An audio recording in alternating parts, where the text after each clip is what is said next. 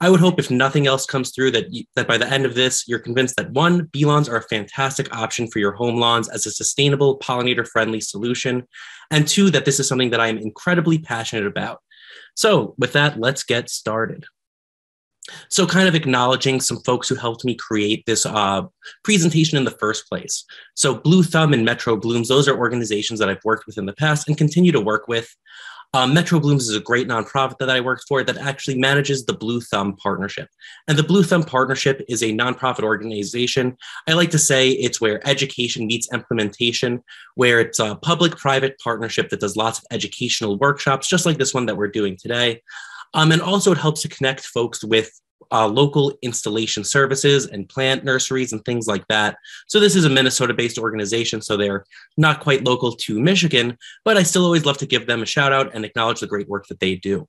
Uh, Twin City Seed Company, that's the name of the company that I work for. When I was conducting this research, they were the first organization to look at these bee lawns and say, this is a fantastic idea. This is something that we want to make available to the general public. So even while I was a student, we started chatting about how we could make these bee lawns available to everyone. And now I'm working with Twin City Seed to kind of really uh, expand on that goal of making bee lawns something that's not just something that gets published in a research paper, not even just popular in the state of Minnesota, but really a nationwide trend, at least popular in the northern climates where bee lawns are really best suited, at least for the species that I'm working with here. So what I always like to start off with in these lawn workshops is a little bit of background information where I don't know where everyone is coming at. Some of you might be lawn experts and bee experts. For some of you, this might be just something that sounded fun to attend. I always like to give a little bit of context such that we're all on the same page. So I'm going to start off by talking about the cultural and ecological functions of the lawn and kind of how a bee lawn fits within that. Um, after that, I'm going to talk about the elements of a lawn, kind of the different building blocks that go into actually creating a lawn. And then we're going to virtually at least get our hands dirty together and talk about how we can actually go about installing a lawn in our own home yards, where something that I love about this is it's so easy to do as a DIY project. I think whether you are a gardening novice or a gardening expert, it's something that you could easily do with do yourself with really not too much work uh, attached. But with that being said, let's start off by talking about the cultural and ecological functions of the lawn. So I think the lawn does get a fair bit of hate, a fair bit of criticism, and I do think some of that is merited. But I also think it's important that we acknowledge the lawn's uh, function, where it is really important that we have some green spaces, some spaces where we can gather and play. And as much as I love a native garden and our uh, prairie remnants that we still have across the country, our beautiful prairies are not a great place to gather and play. I don't think anyone here is going to go out and play a game of soccer or have a picnic in the middle of a wildflower prairie that's got flowers six, eight feet tall. So I think it's important to acknowledge that the turfgrass lawn is a great place for gathering and play. And while maybe this manicured carpet isn't the best thing for our nature, perhaps we can think about how we can enhance the benefits of this landscape form while still maintaining the recreational function that we uh, that we desire out of the turf lawns where a common theme of this bee lawn workshop comes down to a philosophy that we call reconciliation ecology. It's where we acknowledge that humans are a permanent part of our landscapes, and we try to find the middle ground between what nature wants out of a green space and what humans want out of a green space. And I think bee lawns are a really great um, example of a solution that comes out of that philosophy of reconciliation ecology. So, that being said, uh, turfgrass receives its criticisms, and here are some of those kind of drawbacks associated with the turfgrass lawn. And for the most part, these are all due to or attached to what I would call lawn inputs, or the management that we have to apply to a turfgrass lawn in order for it to look nice and kind of just thrive. So, first, let's start with watering. Every time we're wa- we water our turfgrass lawns, of course, we're expending a valuable natural resource, but we also create this potential for stormwater runoff. I'm sure all of you have seen a neighbor with a sprinkler system where not all of that water is being infiltrated within the turf grass lawn. Some of it is making its way to the sidewalk and potentially even flowing off into the street. Whenever we irrigate, especially when we over irrigate, that overflow, that's that runoff, has the potential to bring nutrients into nearby bodies of water. I know in the state of Minnesota, this is a very big deal. It's the land of 10,000 lakes, but what lots of people don't realize is that more than half of those lakes are classified as contaminated. And I don't know the exact stats for Michigan, but I do know that we all want to protect our bodies of water. So if you want to kind of think about a more sustainable solution for reducing stormwater runoff, I'll talk about how bee lawns can uh, play a role there. But it is important to remember that when we water excessively, we're really at a huge risk for stormwater runoff, or excuse me, for water runoff. Um, also, issues associated with the use of fertilizer. When we fertilize, we're putting nutrients, primarily nitrogen and phosphorus, into our lawn. And when we get a rain event, or, or if we were to overwater, those nutrients can uh, come off as stormwater runoff and reach those bodies of water. One that most people are very well aware of are the issues associated with mowing, where we're expending fossil fuels every time we mow it's really unbelievable just how much fossil fuels get burnt each time we do a mowing event. So, trying to use grass species that grow more slowly, require fewer mowings, can really help out there. And I'll talk more about that as we go on in this presentation. So, thinking about those inputs, those are something that folks have been talking about for the last 10, 20 years when it comes to turf grass management and looking at turf grass through a lens of sustainability. That last bullet point is really something a little bit more novel that our traditional turf grass lawns, for the most part, lack ecological function. And really, one of the goals of these bee lawns, probably the primary goal, at least from my point of view as an entomologist and a uh, bee conservationist, is that we want to bring back the pollinators, the insects, and the wildlife to our own home lawns. So, turf lawns are incredibly prominent in the United States. When we think of areas where turf grass lawns are most prevalent, we probably think of our major metro areas somewhere like the urban and suburban areas of like a New York City, perhaps, or a Southern California. But even my home twin cities in Minnesota and some areas throughout Michigan as well, you can see those big patches of green on that image that I've posted to your screen. Those areas all represent spaces where we see lots and lots of turf grass, about 50,000 miles in the continental US and to kind of give you a frame of reference there, that's more than three times the acreage that we have of irrigated corn in the US. So when we're thinking about our most prominent irrigated crops, turf grass is way high up there. And while there are many issues associated with this, there's also a ton of opportunity where the vast majority of land in the United States is privately owned, especially where we have turf grass lawns. And that means that we all have this incredible opportunity to more sustainably manage a landscape feature that is very uh, common and prominent throughout the United States.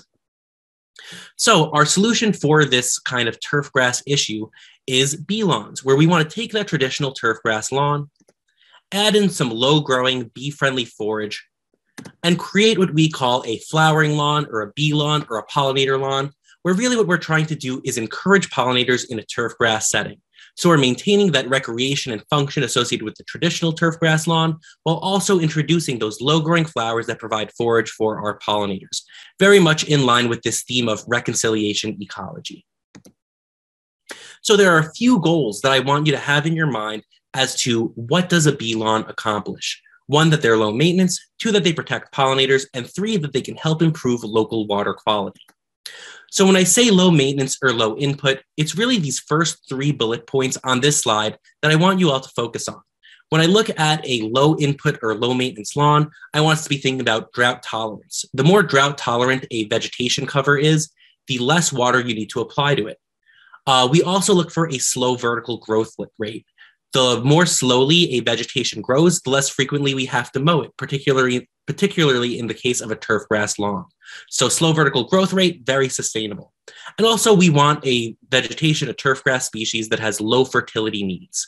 The less we fertilize, the less those nutrients will run off. Uh, disease resistance and insect resistance, those are things that are really more applicable to our turf grass breeding programs, where they want turf grasses that aren't as susceptible to things like uh, dollar spot and snow mold. So really not of interest to you. And note that when we say insect resistance, we're really referring to grubs. We are not referring to pollinators, where I'm sure that at least some of you in this audience have had issues with grubs in your lawn. So our turf grass breeders are trying to create low input lawns that naturally resist grubs.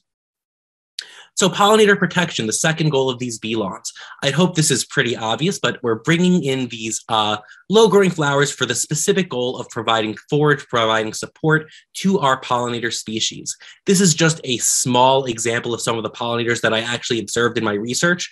Either myself or a research technician took all of the photos that you'll see here today um, of the pollinators, some of these Minnesota friends that we've got here, an agapostemon on the left, an Augochlorella in the middle, and a beautiful bumblebee on the right. Those are the Latin names for just two sweat bees and a bumblebee. I just love to show off the beautiful metallic green colors. Uh, I'm sure as Michigan State fans, seeing some nice, beautiful green is very commonplace for you, or I know that's part of the school colors. So the one that I think is least obvious is how bee lawns can play a role in stormwater conservation. And I would hope the first thing that jumps off the screen of, for you at this picture is that is not what I expected a bee lawn to look like. And you would be absolutely right, where what we've got here is a rain garden where without fail, uh, before this, I did lots of landscape design work. And whenever someone told me that the goal for their area was to reduce stormwater runoff, without fail, the first recommendation that I would always make is to site a rain garden. And a rain garden is fantastic for capturing stormwater runoff. But I think it's also important to acknowledge that even a very large rain garden in a residential property is likely only going to cover about two, maybe 300 square feet, maybe a bit larger than that and that they are also very ex- expensive to install. And the same goes for when I'm doing a more professional design, where that previous slide was kind of just like what I would call like a back of the napkin drawing. But even when we would do these professional renderings, we would do everything we could to map how water moves through the property, site the rain garden appropriately, and catch as much stormwater as we could. But even when we're doing these kind of back of the napkin drawings or the professional renderings, something that I think we have to acknowledge is there's so much space that we're not considering outside of the rain garden. And where I think these bee lawns play and can play an incredible role is in supplementing our rain gardens and native plantings, where um, even when those rain gardens are covering a couple hundred square foot, a bee lawn is a fantastic option for the rest of those thousands, possibly square feet, where we want to reduce stormwater runoff. And how bee lawns help out there is your typical turf grass lawns uh, which are generally planted with Kentucky bluegrass, um, have root systems that are maybe four, five, six inches deep. With Kentucky bluegrass, generally, what you see above the ground is very similar to what you see below the ground. So they're not great in terms of their ability to infiltrate stormwater. The species used in the bee lawn mix, even the turf grasses, have root systems that are a couple feet deep, sometimes deeper than that. So if we're thinking about how much stormwater can each of these surfaces uh, infiltrate, a Kentucky bluegrass lawn versus a bee lawn, those bee lawns are able to infiltrate far, far, far more stormwater runoff than their Kentucky bluegrass counterparts. So I think a bee lawn is a fantastic supplement to a rain garden through that lens of stormwater conservation. So I hope this kind of got everyone on the same page in terms of what role, what's what does what is the role that our lawns play in society? Um, what are some of the benefits and drawbacks of our lawns? And where can we see a bee lawn playing a role in bettering our world for sustainability and for our pollinators? What I'm going to do now is I'm going to kind of take you through the story of how we built the bee lawn and understanding, excuse me, and understanding what species we use within these bee lawns and why we use them. So for these bee lawns, we quite literally built them from the bottom up. And for these next few slides, I'm going to talk a lot about the research of a student who came before me. His name is Ian Lane. He is an incredible person and honestly a research mentor for myself. And he covered those first two bullet points, figuring out what turfgrass species would work really nicely within the context of a bee lawn, and also figuring out what flowers would work really nicely within the context of a bee lawn. I came in at the end of that second bullet point, but it's really a lot of Ian's research that I'll be talking about there. And then finally, the last part who actually visits a bee lawn? What bees do we actually see within these landscapes? That's what the, the focus of my uh, master's work was on. And I think it's really exciting and fun to share. If you can't tell by now, I really love talking about bees and ways we can protect them. So, yeah, let's talk a little bit about the turfgrass species that work for a bee lawn and how we kind of figured out which species we wanted to use. So here I do want to acknowledge at least some of the benefits of our turf grass lawns and kind of how we can amplify these benefits. So first, I think that first bullet point is quite possibly the most important bullet point on this slide, where they prevent soil erosion. So I talked a little bit about stormwater runoff. Um, a great way you can reduce stormwater runoff is just having some form of vegetative covering. Whenever I do a site assessment in an area that has lawn planted, the biggest red flag that can that can uh, that I can raise is when I see bare soil. Bare soil has a very small ability to prevent soil erosion. um, it's really just fully exposed and ready to run off the surface. So what's great about turf grass is it forms this very dense coverage, almost like a carpet of sorts, that really helps prevent soil erosion and stabilize dust. Um, our turf grass lawns, like many other green surfaces, green plantings, release oxygen into the atmosphere and sequester carbon.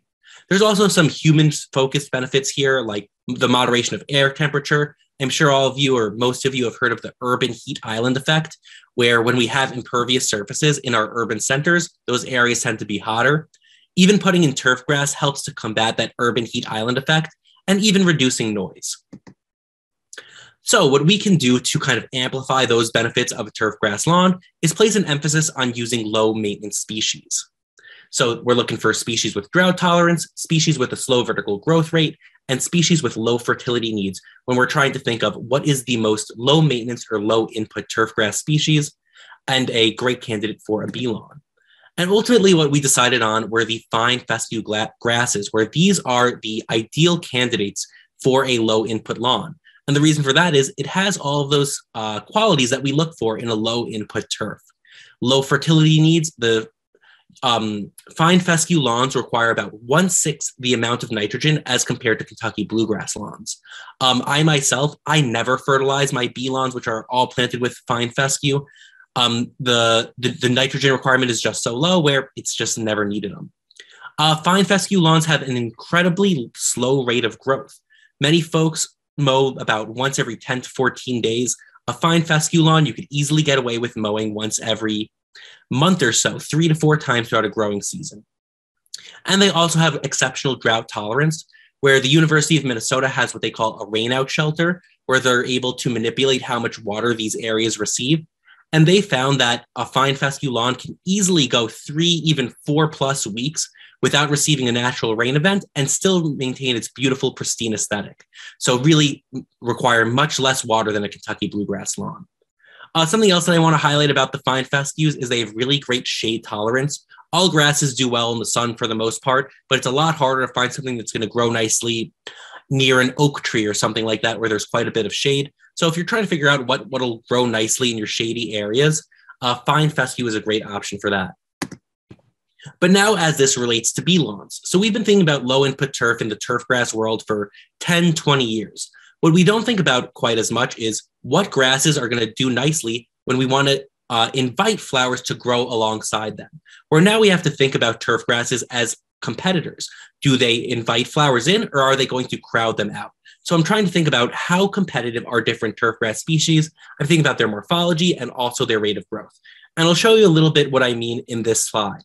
So first, I want you all to look at what I would consider to be a highly competitive turf grass species, a turf grass that grows quick, has a thick leaf blade.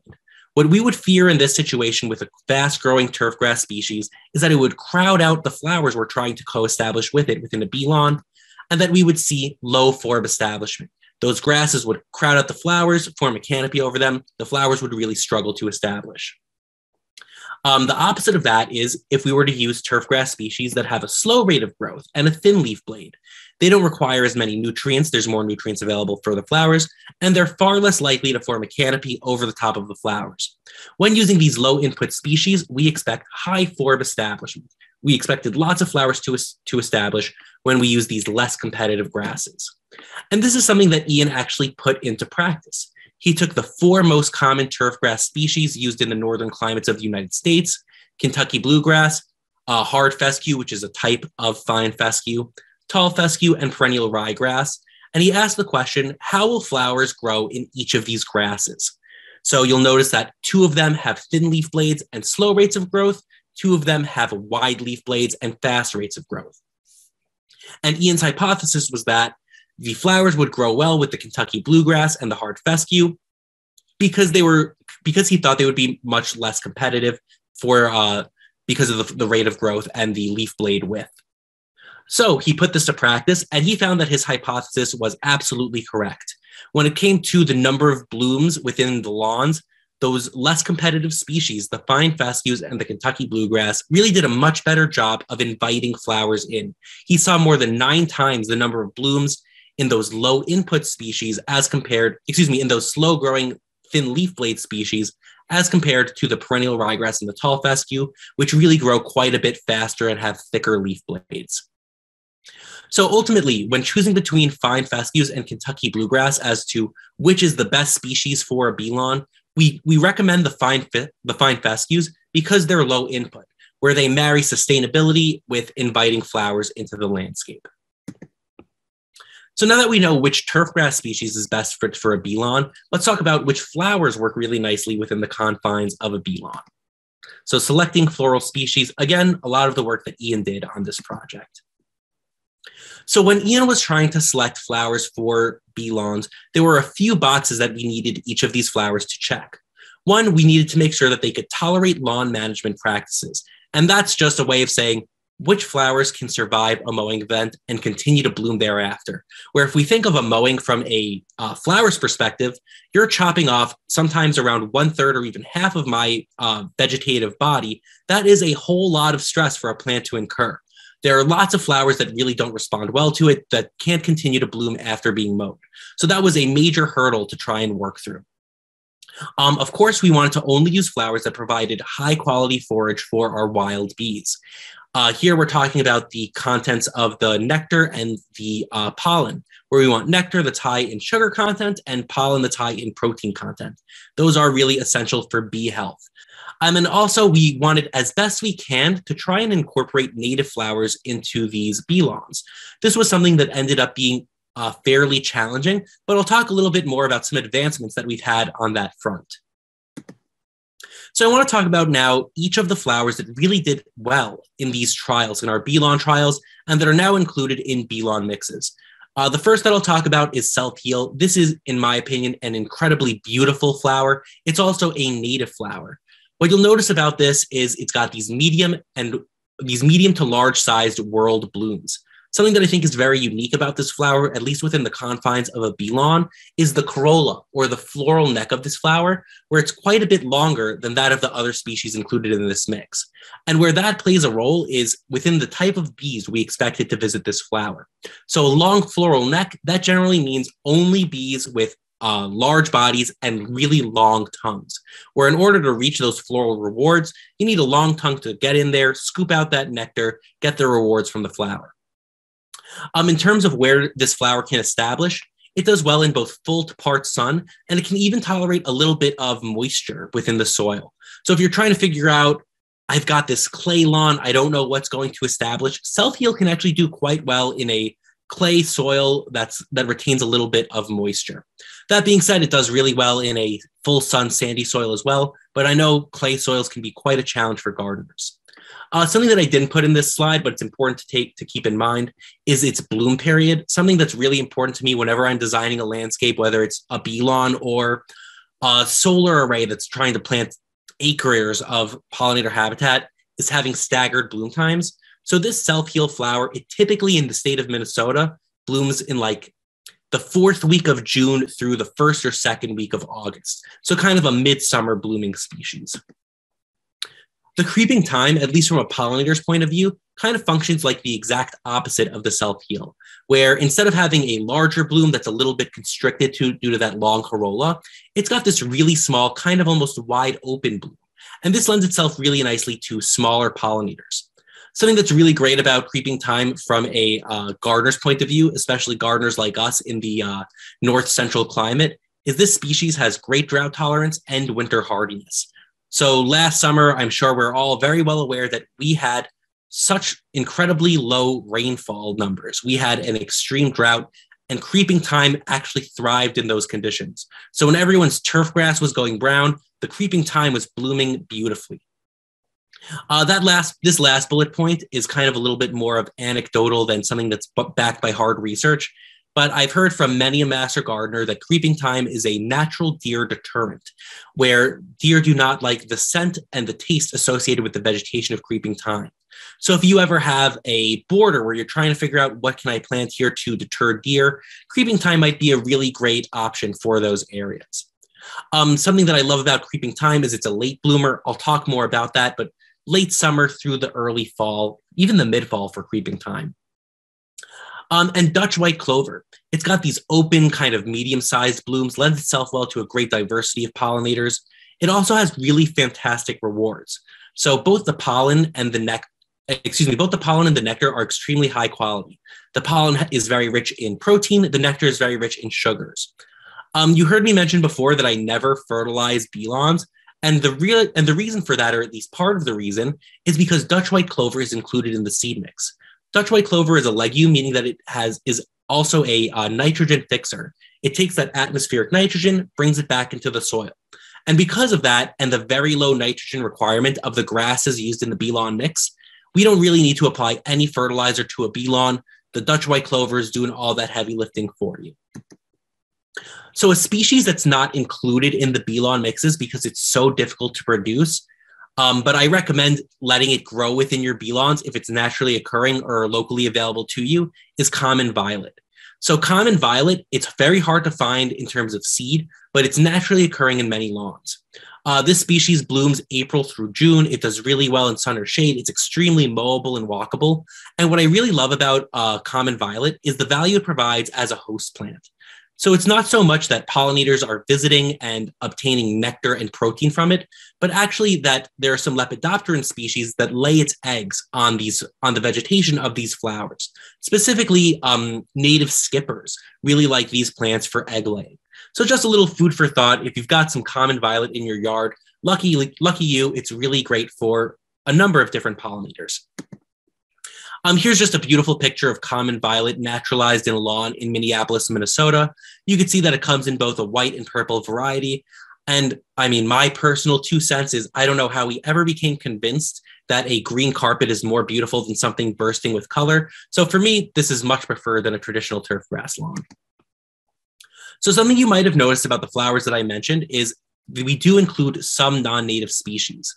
So I kind of want to go outside my point of view where I'm very clearly biased and bring in some points of view from some experts in the field about the specific non-native species we use in these mixes. Where uh, Neil Samardzija from the National Park Service is quoted as saying that Dutch white clover has been in the US for a long time and is more or less naturalized. I generally don't see it outcompeting native species.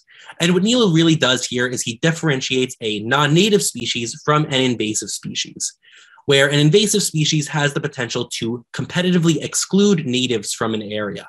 None of the non natives included in our bee lawn mixes are invasive. They aren't competitive to the point where they're going to um, exclude native species, outcompete those beautiful natives in your adjacent gardens. Uh, the Minnesota Landscape Arboretum is quoted as saying, while non native flowers may be aggressive, they can still be very useful.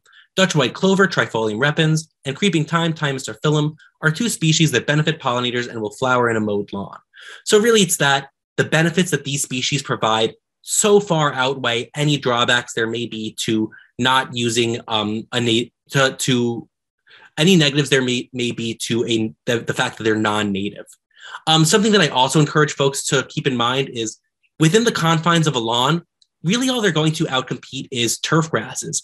And if I have a little bit more flowers and a little less grass, I, for one, am not going to be crying about it. And I hope that all of you would see the benefits in, um, in having these flowers instead of grasses.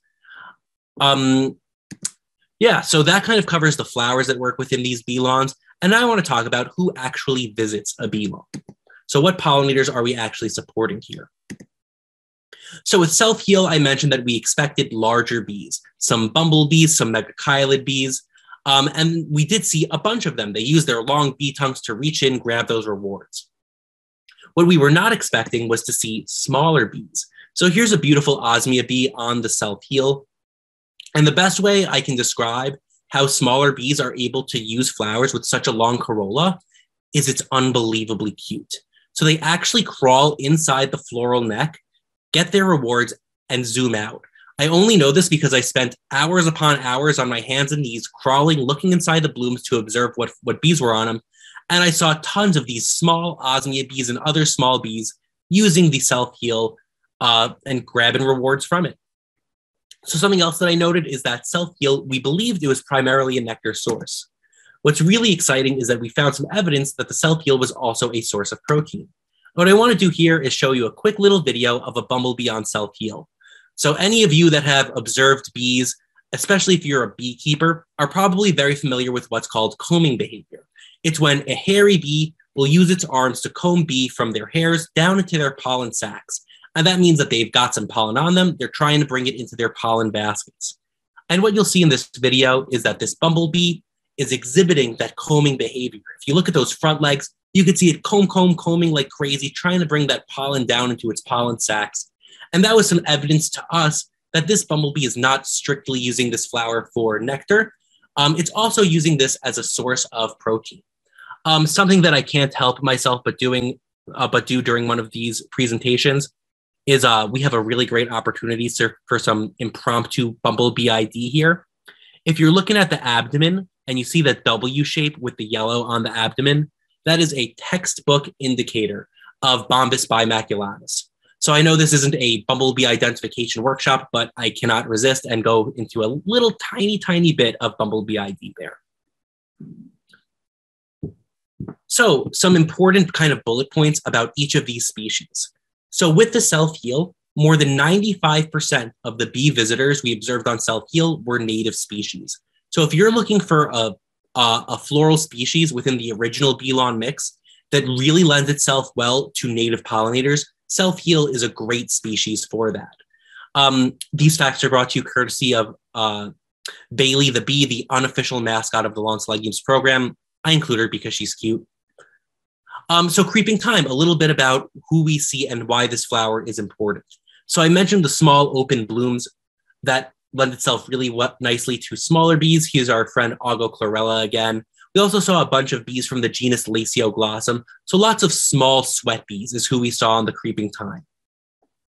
But what I think is really the most important thing about this creeping thyme flower is its bloom time. So something that I mentioned a few moments ago was this idea of having staggered bloom times within a planted area.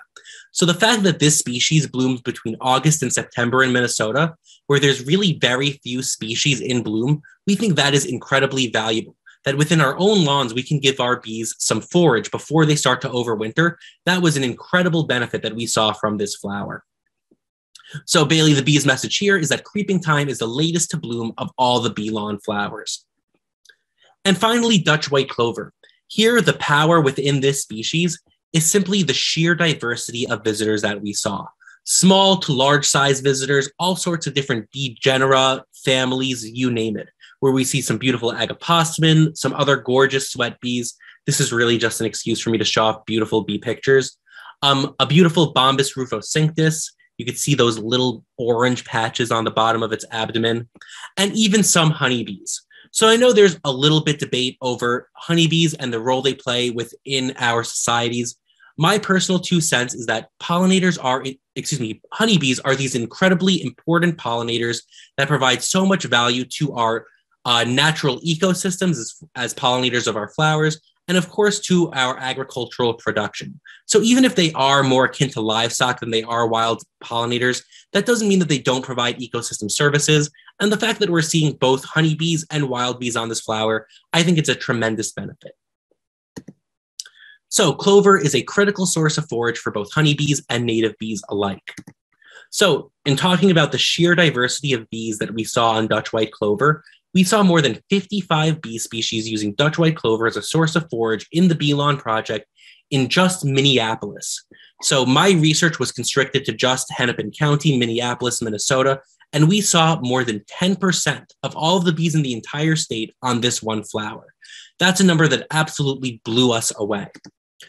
Uh, for the entire bee lawn mix, we saw more than 65 bee species which is more than 15% of all of the bees in Minnesota. When you consider that we were looking at just three species and we were confined to one small region of the state, we were absolutely blown away by the diversity of bees that we observed um, on our bee lawn mix. So that covers the original bee lawn mix. Something that I'm extremely excited about is one of the most common questions I received when doing these workshops as a student was, is it possible to develop an, a uh, version of this mix that uses all native wildflowers. So keeping the grasses the same, but really placing an emphasis on our native uh, flowers. And recently I drew up a new mix, what we call our native bee mix, that uses all native wildflowers. So we keep the self-heal, that's a beautiful native species, and we replace the Dutch white clover and the creeping thyme with common yarrow, or excuse me, yak yarrow, and blue-eyed grass. And I'll talk a little bit about those species here. But what I want you to keep in mind is that we're following this idea that native plants support native pollinators. Uh, this is a statement backed by millions of years of coevolutionary history. So, a little bit about yak yarrow, sometimes also called Western yarrow. Um, in that previous slide, I accidentally put common yarrow. This is a very closely related subspecies of common yarrow. It's much less aggressive and it also blooms at a lower height. So first with the yak yarrow, it is very attractive to diverse groups of butterflies. Uh, to excuse me, diverse groups of pollinators. So we see bees on this flower, we see butters, butterflies on this flower. But where this species is really exceptional to me is with regards to sustainability. I'm all about trying to reduce our natural resource consum- consumption within the confines of our lawns. And yak yarrow really thrives there, where um, NTEP which is a turfgrass research organization. They look at all different sorts of vegetation and how much water they require.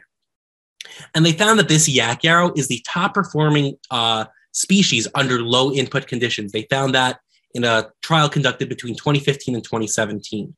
So if you're looking for a flowering species that one provides food for our pollinators and two really thrives under low input conditions, yak yarrow is great there. One thing to keep in mind for both the yak yarrow and the blue-eyed grass, which I'll talk about now, is these species bloom a little bit taller than the species used in the original bee lawn mix. All of the flowers that are included in the original bee lawn mix bloom at three inches and lower. The blue-eyed grass and the yak yarrow, they bloom at six inches in height. So what I tell folks is for your traditional bee lawns, your original bee lawns rather, they bloom just below the ankle. For this native bee lawn mix, they bloom just above the ankle. So back to the blue-eyed grass. Don't let the name fool you. This is actually um, uh, very closely related to the irises you're all familiar with. And even though it's called blue eye grass, it is very much a forb. It is very much a flower. Um, the first thing that comes to mind for me when I look at this flower is the colors, where blue and yellow are colors that are incredibly attractive to bees. Their visual spectrum is a little different from ours, where they don't pick up as well with reds, but they pick up on blues and violets much, much better than we do. They can even see the ultraviolet part of the visual spectrum. So the colors included in this flower are very attractive to our bees. We see all sorts of different bees, bumblebees, sweat bees, but also songbirds on blue-eyed grass, where songbirds actually like the seeds that come from the blue-eyed grass. Um, this species does have very nice shade tolerance, and it can even thrive with some moisture. In fact, out of all of the bee lawn flowers, in terms of uh, if you're asking yourself the question, when should I water my bee lawn? This species kind of serves as almost like the canary in the coal mine, where this is the first species that will start to show some um, heat stress when there's when when we don't get too much rain. So if you start to see your blue-eyed grass look a little uh, less pristine than you were hoping, that's a good indicator where okay, now it's time to give my bee a nice uh, dense watering. And again, this species also blooms at right around six inches. So what's really exciting is that these bee mixes are uh, available to you I know Twin City Seed, where I work for, makes them available, but the Blue Thumb website can point you to a number of partners that carry bee lawn mixes and can make them available to you. Um, if you're interested in any of these bee lawn mixes and want more info or want to know where you can grab them, you can reach out to me directly, jwolfin at twincityseed.com for more info there. And I highly encourage you to reach out with me with any questions, inquiries you have with regards to bee lawns. Um, I will never have a day where I turn folks away from any sorts of questions that they have. Um, another little note about bee lawns is the um, a study was conducted in the Chicago area where they found that converting just 5% of a lawn to any form of pollinator friendly vegetation can improve local pollination. So, something that I've been encouraged by some mentors to do is to try to break the choir, so to say, where instead of just giving messaging that's going to feed into like-minded people like myself, the folks that love pollinators and love sustainability, try and reach folks who maybe have some different goals. Where I am yet to meet the person who does not love food. So if you're looking to support local food, local growers, converting just a little bit of your lawn to something that blooms, something that supports pollinators, can really help yields at urban gardens and urban farms. So, just a little bit of food for thought in that area yes, that pun wasn't intentional. I give it about a four out of 10, not my best work. So that covers kind of uh, how we actually make these bee lawns come to life, which species we use, uh, and the bees that we see visiting. Now, what I want to talk about is installation and maintenance, how we can actually install these as a DIY project. I'm going to jump right into installation and maintenance. I'll talk through how we can go about first removing whatever existing planting we have, if necessary, a little bit on how we can replenish the soil, and also a little bit on the ongoing maintenance that's required. Um, a little teaser there with maintenance. Once you get these established, they are so easy to maintain. If you put your effort into installing these right, making sure that establishment is a success, the maintenance is going to be a breeze as compared to a traditional turf grass lawn. So, first, let's talk about timing. What's really great is we are just now entering the perfect spring winter, win, excuse me, the perfect spring window for installation. Where a late winter, I'm sure it's not what we all had in mind. I think we all want to be at parks and breweries and whatever fun spring events we all have in mind. Uh, it's still winter here in Minnesota. I'm sure Michigan is still nice and chilly too, but it does mean that our planting season for uh, spring lawns is a little bit delayed. Where right now, I would say the first through third week of May is going to be an ideal time to plant lawns, bee lawns included, within the north central United States. So, in terms of when I would time these in the early spring, we wait a little bit after snow melt. Uh, we want those soil temperatures to heat up a little bit. The ideal soil temperature we're looking for is consistent soil temps above 50 degrees Fahrenheit. Uh, you can find those with a Google search. If you don't want to do a Google search, kind of a loose approximation of that is whenever we start to get consistent ambient temperatures of 60 and above, highs of 60 and above, that generally means this is a good time to start planting lawns, bee lawns included. So what's great about a spring planting is our uh, flowers and our grasses are going to be able to compete with weedy species. So uh, you get them an early start. They're able to start accumulating what's called degree days, a fancy term that pretty much is just a measure of warmth, and they'll start to grow that very same year. So if you do a planting in the early spring, I would expect same year germination, where you would get some establishment and even limited and even some blooms from the bee lawn flowers. So definitely uh, the vegetation of the flower starting to grow, some blooms in that very first year, and progressively more blooms until you reach year two, year three, when these are fully established. Um, whenever you seed a lawn, unless you do it absolutely perfectly, there's bound to be a little bit of patchiness, maybe some bare spots. So I always recommend keeping a little bit of soil on hand for the uh, summer fall transition period for an overseeding to patch up those areas. Speaking of the summer fall transition window, that's the second window of time where I would recommend a bee lawn installation. So here what we're looking for is between August 15th and September 15th, uh, when our soil temperatures start to dip down, as they the closer they get to 60 degrees, the better. Uh, so ambient temperatures between 60 and 75 degrees, soil temperatures right around 60 degrees. Here, I would expect same year germination, but only really mostly vegetation. So the plants will start to germinate, but they won't start to bloom until the following spring for the most part. Uh, if you want to do a little overseeding, you see some patchy areas as we start to exit that late summer window. Uh, you can do a little bit more overseeding in the very late fall, almost the start of December, in what we call the dormant seeding window. And now I'll talk about how we can install these during that very window, that dormant seeding window. So for my the purposes of my research, I established all of my bee lawn plots in this dormant seeding window, and it was very successful. It's a window I highly recommend to folks. Where for the purposes of a bee lawn, my two favorite times to install them are one that early spring time period, and two that late the late fall time period as a dormant seeding. So with a dormant seeding, what we're looking for is um, soil temperatures right around 40 degrees. And what that'll do is it's too cold for the plants to start to germinate, but the ground is not yet frozen. So our seed is making contact with the soil bed. And as the name implies, the seed is going to lie dormant until the following spring. What's really great about this is as we start to get some uh, some warm days here and there throughout the spring, our flowers that are getting ready to grow, getting ready to bloom, are going to be collecting those degree days, collecting that warmth, and they're going to do a really great job of sprouting and growing as soon as possible. This will give them a little bit of a competitive advantage against whatever weeds might be in your soil bed. Um, if you do a dormant seeding, uh, wait through the spring, see how things come up, and then have a little bit of that extra seed on hand to, to uh, overseed into those patchy areas. Um, something that's very relevant to us in northern climates. Here in, Min- in Minnesota, and I'm sure over in Michigan as well, we generally have snow cover throughout the entirety of winter. That's actually good for your bee lawns. It helps to ensure um, good establishment. It helps to keep the seed in place throughout the winter. So there are two methods that can be used to install a bee lawn. I have done both of these, done both of these successfully. There's just some little differences in how you do it. So you can install a bee lawn as an overseeding, where you seed directly into a pre-existing turf grass stand, or you can do these as a new lawn renovation. What I want you to keep in mind as you think about how am I going to do this as a DIY project is what does my lawn look like? So an overseeding, which is admittedly a little bit easier, is best suited for lawns that are planted with either Kentucky bluegrass or fine fescue. So here we're thinking back to Ian Lane's research as to which grasses work for a bee lawn, where they work best in Kentucky bluegrass or fine fescue lawns. And you also want to have relatively low weed presence.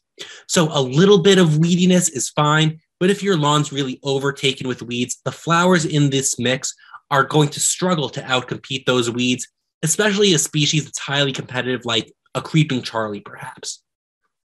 So let's say you don't have Kentucky bluegrass or fine fescue, you've got some other turf grass species, or you've got heavy weed infiltrations. The next option for you is to do this as a new lawn renovation, where you tear out the turf grass and you just start from scratch, or you tear out whatever vegetation you have and you start from scratch. So let's talk about how to do this as an overseeding, where this is really quite easy.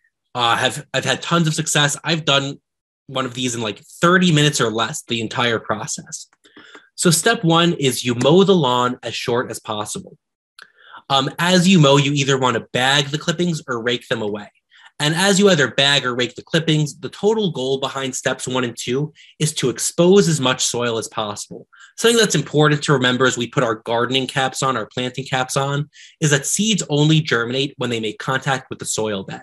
So by doing that mow, raking away those clippings, we're exposing more soil. We're making it so much easier for that seed to make direct contact with the soil. So after steps one and two, we are ready to spread the seed. Uh, here, lots of folks will top dress as they spread the seed. When I, when I say top dress, I mean they include some soil amendment along with their seed.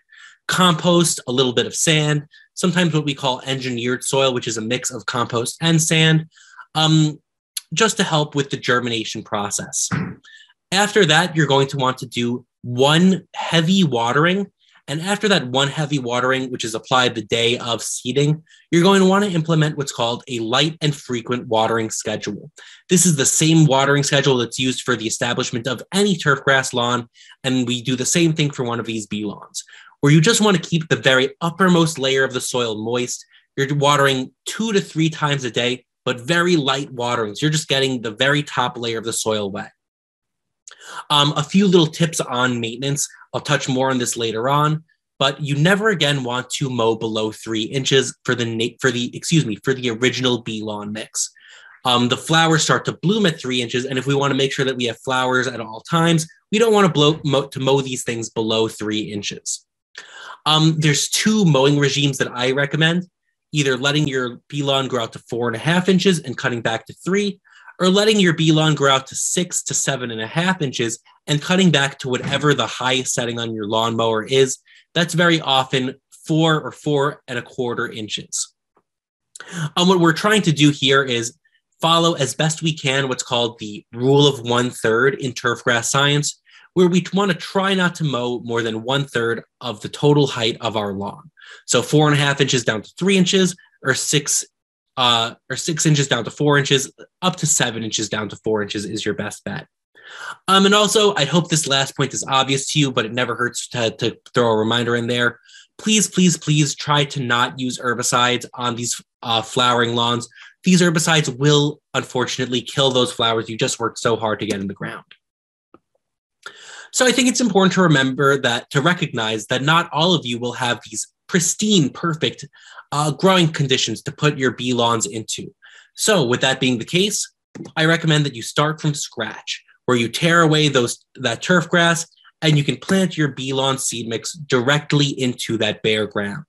So, while this is a little bit more work, or sometimes even a little bit more money to kind of accomplish this, uh, I do expect a little bit more consistent, maybe even improved overall results.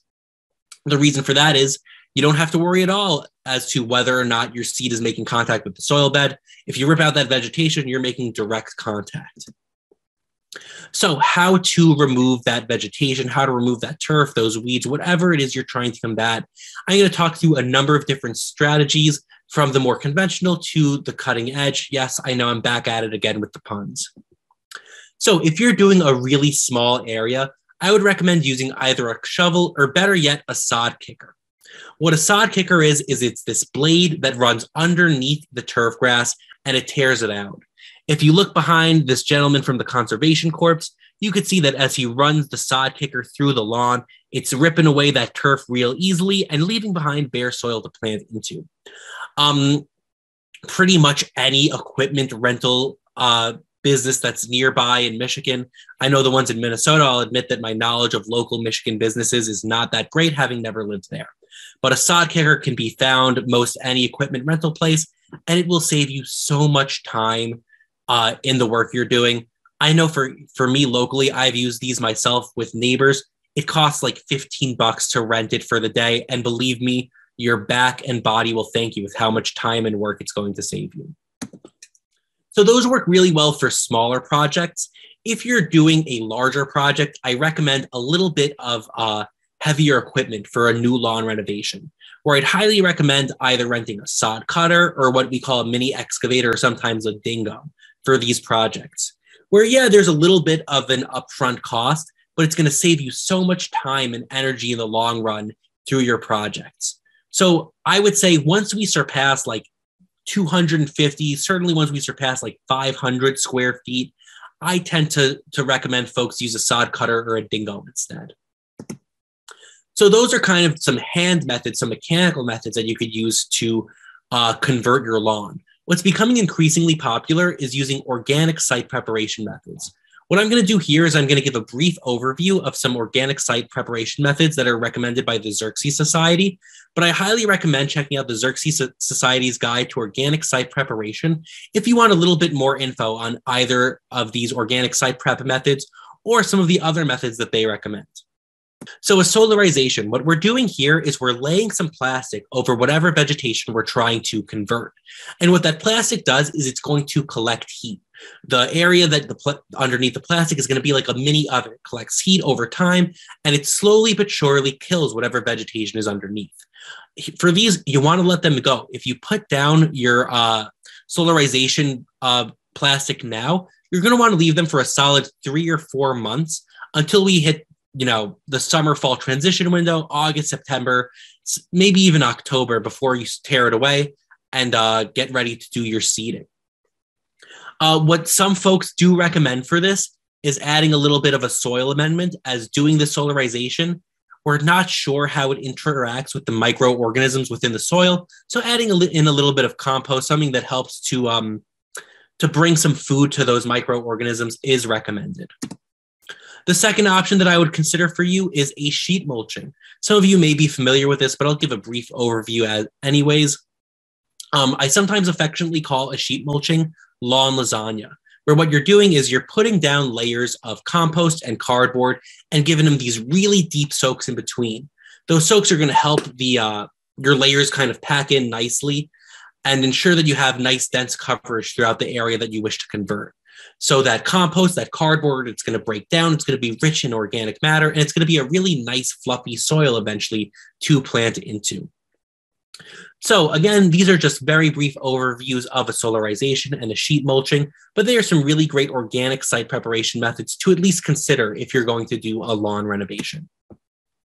So believe it or not, there's actually a little bit of science between uh, behind how you actually seed a lawn.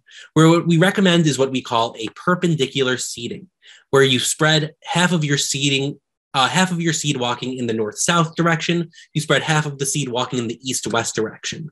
So let's say you've got a thousand square feet, you've got five pounds of seed for, to cover that 1,000 square feet. You're spreading two and a half pounds walking north south. You're spreading the remaining two and a half pounds walking east west. Um, after you put the seed down, you're going to want to do a light rake.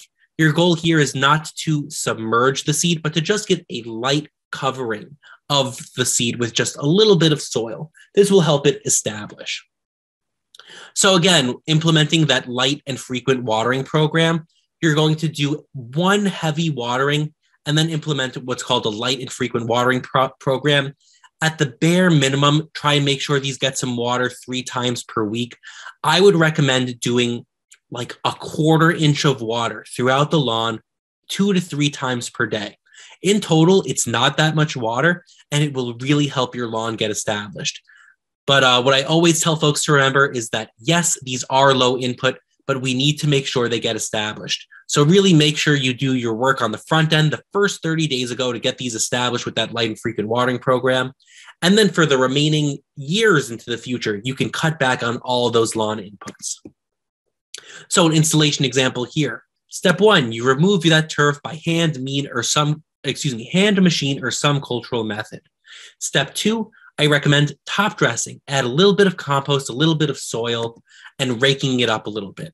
So raking it up, raking these areas will help to reduce soil compaction. It'll help to kind of uh, just make the area more amenable for planting. So then you spread that seed in and you do another light raking to make sure that the seed can get settled. Remember, don't submerge. After that, the, the steps are just the same as for an overseeding, where you keep the area moist with that light and frequent watering schedule.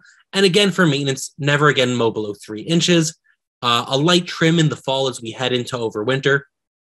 And please, please, please refrain from using herbicides within these bee lawns. So as you um, get ready to install these, you might not remember every single detail from this presentation. This slide right here is like a nice little cut sheet as you try to decide should I do an overseeding? Should I do a new lawn renovation? Covering which conditions are suitable for each, what goes into each of the seed mixes for an overseeding versus a new lawn renovation, um, and also the benefits associated with each. Where it is possible to buy a bee lawn mix with just the wildflowers, where if you have turf grass that is suitable for um, a bee lawn as is, you might not need to get a bee lawn mix with the turf grass included. You could buy just the wildflowers and spread them as you see fit. Uh, that being said, I always recommend folks switch over to a fine fescue lawn if they don't have one already for the sheer goal of sustainability, reducing lawn inputs, uh, less mowing, less watering, less uh, less irri- less mowing, less watering, and less fertilizer. Excuse me. Where um, even if that doesn't help the pollinators directly, it is great for our environment. So a little bit on ongoing maintenance, and I am all about giving folks maintenance tools. The reason I only talk about this a little bit is because these are so easy to maintain. So uh, getting these established is really the um, the big deal here, where the first 30 days you're going to do a little bit of work and then it lessens dramatically from there. So the most important part is that step in bold water frequently during establishment, that light and frequent watering schedule. After you get out of those first 30 days, you're going to water a little bit more than you typically would when these are mature, once at most twice per week. If we get natural rainfall, uh, Mother Mother Earth is doing the work for you. Mother Nature, excuse me, is doing the work for you. Um, and even considering doing some light weedings while these are getting established. If you see something aggressive like a creeping Charlie or a broadleaf plantain starting to pop up, you might want to consider digging those out with a dandelion popper or some tool, a garden trowel, just to make sure that your flowers have some space to get in there. Um, mowing. Mowing is very important. And what we're trying to do here is make more sustainable lawns, mow as infrequently as possible. That's at least my goal here. So there are a couple, so there are two mowing regimes that I recommend to folks. Uh, the first, if you want to have something that looks a little bit more traditional, especially if you're working with the original bee lawn mix, letting your lawn area grow out to about four and a half inches and cutting it back to three will be right in line with you know the keeping up with the joneses staying in line with the neighbors and you'll have flowers blooming throughout the growing season. If you don't mind letting things go a little bit more wild, observing a few more blooms along the way, I recommend letting your grass grow out a little bit longer, somewhere between six and seven and a half inches, especially if you're using the native bee lawn mix, and then mowing down to whatever the highest setting is on your uh, mower. Um, there's some really great research out of UMass Amherst where they found that letting your lawns grow longer results in more flowers within the lawn area. And for us that are trying to conserve pollinators, that is a major, major benefit. Uh, fertilizer. Me personally, I never fertilize bee lawns. I would say if you see your lawn starting to go brown and you know for a fact it's not due to irrigation, consider hitting it with a very, very light fertilizer application. I'd even recommend getting a soil test before doing that uh, fertilizer application. Um, irrigation, once these are established, they need very, very little water for the for the purposes of my research once they were established i never once applied water and i had beautiful bee lawns throughout the entire duration of my master's project. What i will say is if we go three or four weeks without a natural rain event you can consider hitting these areas with an inch or so of water just to make sure they stay nice and and you know aesthetically pleasing nice and uh, pristine to the eye. So thatch removal here, this can be something that can be very useful, especially before a seeding event. If you know for your for a fact that your lawn is extremely dense, this can really be the case with a fine fescue lawn. You might want to consider a thatch removal before you do your seeding. Um, thatch is the layer of dead vegetation between your plants and your soil. So as that thatch build as that thatch builds up, it can make it more difficult for your um, for your seed to make contact with the soil bed. So if you know you've got this super dense lawn and you think you might have some thatch buildup, consider doing a thatch removal using a dethatcher before getting the before your seeding event. So that's all I've got for you. Uh, I hope you enjoyed this presentation.